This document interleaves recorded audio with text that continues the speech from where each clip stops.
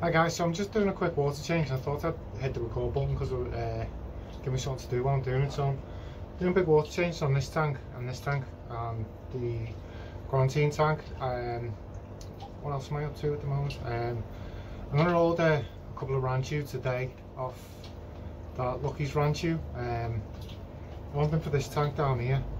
Let's have a look anyway. So what I like to do with the water changes is drain it right the way down when I've got goldfish. Like when I've got other fish, like I, I don't know how to explain it, but like when I've got goldfish in the tank, like I can almost feel what the water's quality is like. Um, I don't really get that with other fish. I, I, it's a hard thing to explain, but I know with goldfish when they need water changing. Um, and I always like my philosophy is massive water changes constantly. Um, but I'm a heavy feeder so you get some people who just hardly ever do water changes um, they say they don't do water change and stuff. Now that's great if you've got a planted tank and a low fish load but when you've got big fish and you feed heavily um, stuff goes through the roof quite quickly. Um, so here's the other tank. I'm going to do a big water change on that. Um, I've been feeding heavily the last few days and I'm still worried that the you know the fish load in here was quite low. So and now it's I'm feeding heavily I'm worried that the cycle might not be keeping up as much I went to fish shop to buy test kits um, and they didn't have nitrate test kits which they wanted me to buy a whole test kit now they've already stung me for that twice so I'm not having two whole test kits worth 50 quid nearly sat in a cupboard just because I want a nitrate. That's, that's not how it works for me. So these ones are doing great. Um, they look like they've really put a bit of size on in the week or so I've had them. I mean, I don't mean like length, I just mean like width. I've just fed Repashy So today, this morning I've come in, I've fed uh, Saki Hakari. I don't, I don't even know whether I'm pronouncing that right. I fed that and then I've just been in and fed Repashy now and then this evening I'm going to come back in and feed some bloodworm. Um, I'm just feeding, feeding really heavy heavy because I want to get them uh, growth spurt on them if I can. Yeah, so I'm going to take this right down.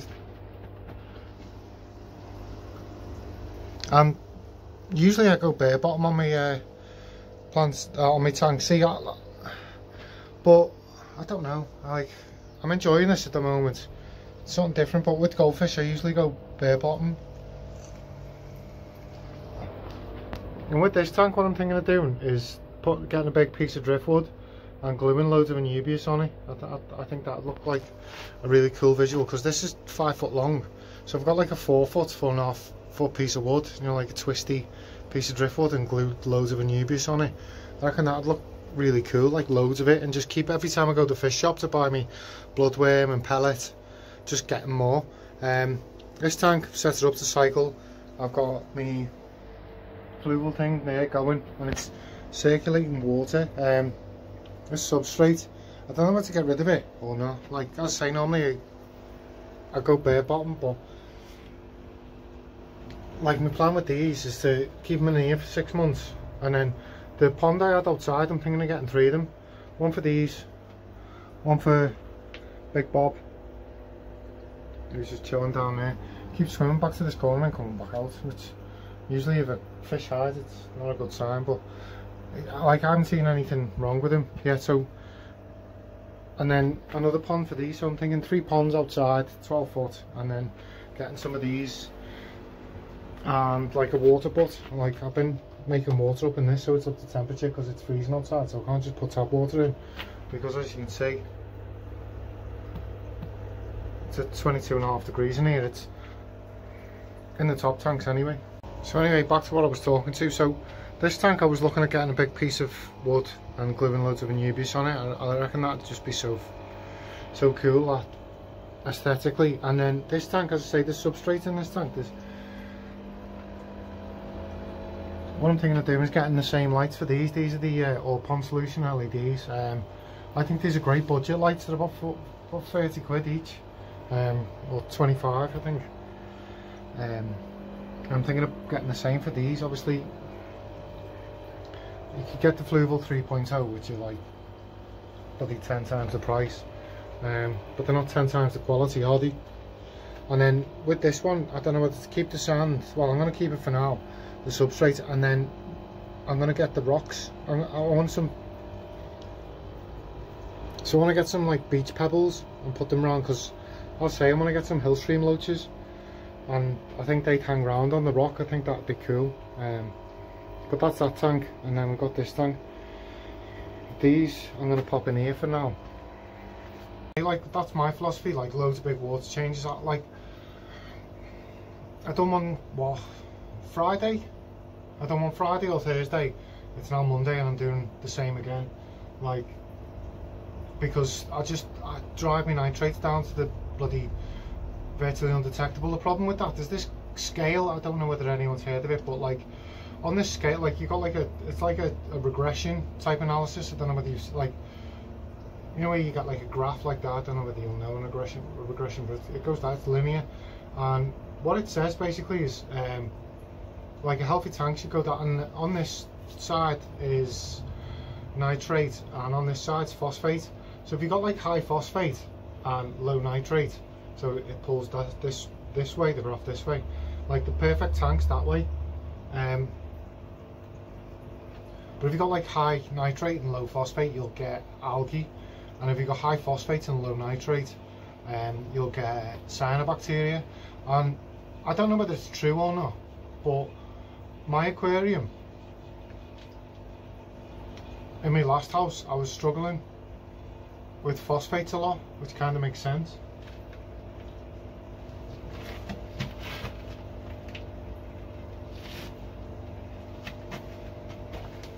kind of supports that theory. Now, I, I don't know whether that theory's been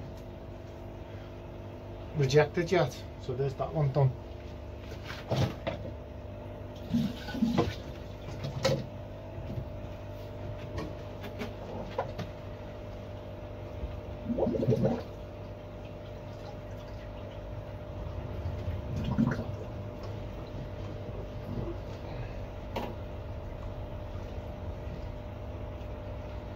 Yeah, so there's that one. Uh, like, I'm not sure whether I'll have that or not, but it, it like that seems to support it. The fact that I was getting phosphates, I got phosphates in me uh, front tanks in my whole house, and as I say, there was high phosphates, and I do loads of water changes. So like, my water's usually cleaner after before I've done a water change than most people is after. It's just something I've always done with goldfish, you know, because they've got that uh, what's it called, GABA, and uh, the other somatostatin or something, the, the inhibitory um, hormones that they give off in the water. That's like goldfish is supposed to be high in that, so um, I don't know whether that's been debunked or what. Like I, I could do with looking at some of the science, but that's you know something that I'm cautious. Like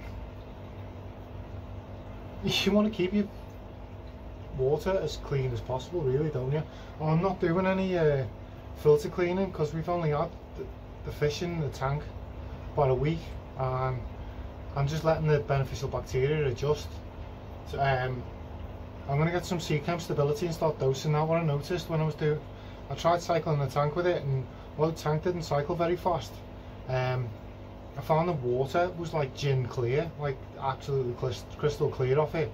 And when I was reading about it, like the, the bacteria in the bottled stuff in Seachem stability breaks that like it says it breaks that stuff down in the in the water column. The, the bacteria breaks part, particulate matter down in the water column. And as I say the water was gin clear which kind of supports that theory in my eye. Um, anyway what else has been going on?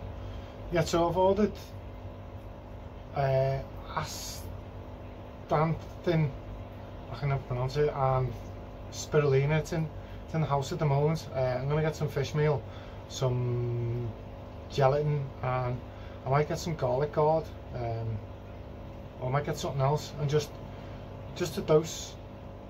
In, and then I'm going to make my own fish food, and I'll, I'll make a video on that. I, was, I said I was going to make a video, but all stuff hasn't come yet.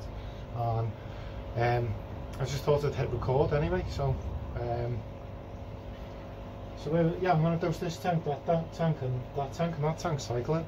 Oh, this guy here, he's upside down. Uh, I want to get a tricolour around it, like a big one, like bigger than him, um, which would be cool. Obviously, I want to get them two Ranchu, because as I say, I'm gonna these are gonna go out in the summer, and I want to do something a bit more impressive. Obviously, I want some bigger tanks. Obviously, I've got this one, I like that, um, but I, I'm gonna recondition it, might drill it and sump it, or I don't know, because I've got two matching tanks. One's that one's 18 inches wide, and the other one's two foot. Um, I've got that four foot, got this, got you know, I've got so many tanks, limited space. Um, that's like, that's the thing. Like with the other fish, like although like I absolutely love Tanganyika fish, like the, the frontosa I had. Um, it was keeping them out here, and then I was thinking it was costing so much to, to heat the tanks, and I was thinking that money could go into like it's a juxtaposition between that and goldfish and like goldfish will always win for me plus yeah.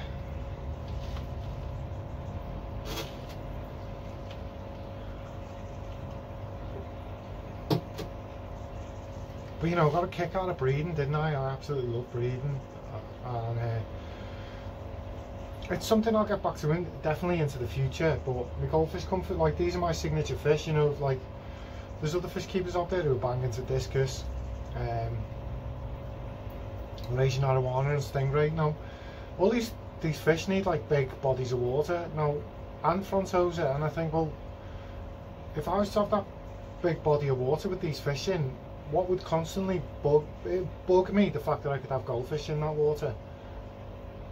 It constantly play on my mind. It would. It really would. So that's the water changes done, guys. I'm off to buy myself some new fish. See you later.